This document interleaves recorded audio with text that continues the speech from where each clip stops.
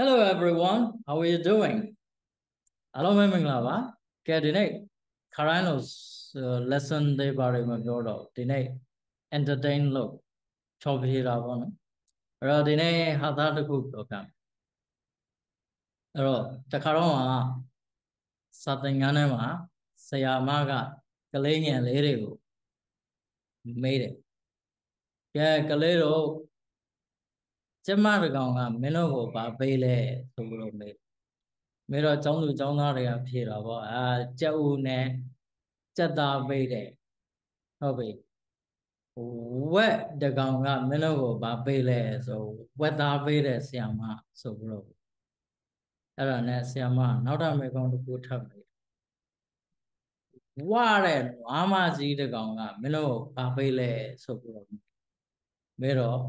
နောက်ဆုံးကကျောင်းသားတယောက်ကထပြီးပါပြောလဲဆိုအိမ်စာတွေပေးတယ်ဆရာမကြောက်ပြအားလုံးဒီနေ့တလောက်ပဲနောက်ရကျရင်နောက်ထပ်ဟာသားတွေတင်ပေးသွားမယ်နော် bye take care see you